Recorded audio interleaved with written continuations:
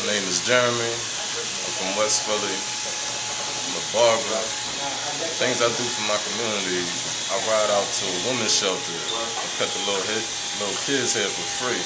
No charge. Once a month, I do that every month.